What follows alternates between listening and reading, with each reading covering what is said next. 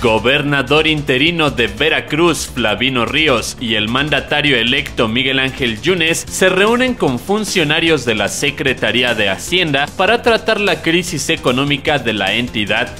Policía Federal mantiene vigilada la frontera con Guatemala luego de que el 18 de noviembre pasado se detuvo a Mario Medina Garzón con pasaportes falsos con fotografías del gobernador con licencia de Veracruz, Javier Duarte de Ochoa y su esposa Karime Macías. Ejército reforzará seguridad en Guerrero tras la ola de violencia del fin de semana que dejó al menos 11 personas fallecidas en diferentes partes del estado. Gobernadores perredistas le hacen el feo a Mancera. Se reúnen Silvano Aureoles de Michoacán, Arturo Núñez de Tabasco, Graco Ramírez de Morelos y Carlos Joaquín González de Quintana Roo para crear un frente y pedir piso parejo rumbo a la elección del candidato que representará al PRD en 2018.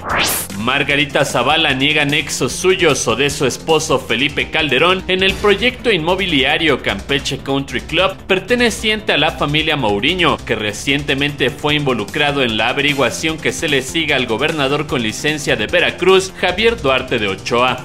Informó para El Punto Crítico Diego Rivero.